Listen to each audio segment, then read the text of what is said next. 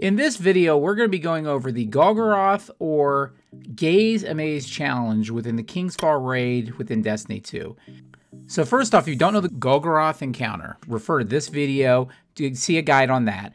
But essentially what you need to do is when you take the gaze from Golgoroth, before you give it back to someone else, you need to make sure you're in the pool of unclaimed light when that happens. The easiest way to do this, obviously, is take the gaze and then slowly work your way through the bottom pit area while you're shooting the balls over to the fire team. And that way, by the time the, the timer is out, and the person takes the gaze, you'll be in the pool of unclaimed light. Now, actually, one other way you could do this is just immediately go into that pool because yes, you'll have the darts come at everyone, and so you need to have well or things to protect people. But the neat thing about this is while you're waiting for the other person to take the gaze, you could do additional damage.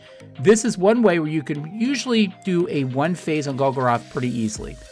That's basically a challenge. Really super simple and again will help you do extra DPS. Obviously in master mode, make sure you have wells, make sure you have a lot of protection because you're going to also be directing those orbs back over to the fire team. That's the video guys. If you like the video, if you like the video, subscribe my channel, check my Discord, and I'll see you Guardians in the Tower.